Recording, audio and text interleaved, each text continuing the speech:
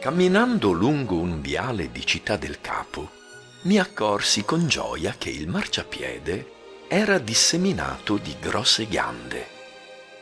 Quando nessuno mi vedeva, le calciavo con la punta del piede, come facevo sessant'anni prima, per il piacere di vederle rimbalzare e ruzzolare lungo il viale.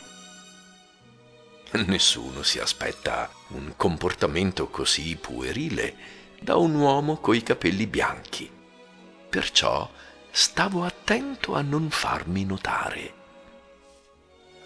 Quasi al termine del filare di querce, vidi un altro vecchio signore che camminava lentamente sul marciapiede opposto.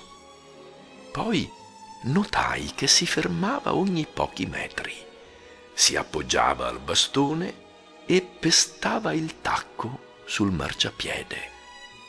Non mi aveva visto e avvicinatomi, scoprii che schiacciava ghiande.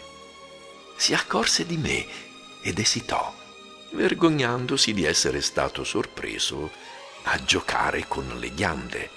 Ma io diedi un calcione a una ghianda. Mi piace prenderle a calci, dissi. Lui ridacchiò.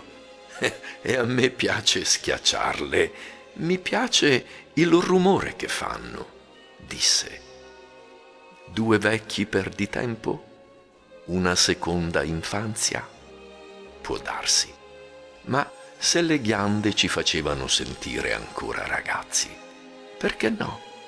Dopotutto, si è giovani soltanto due volte.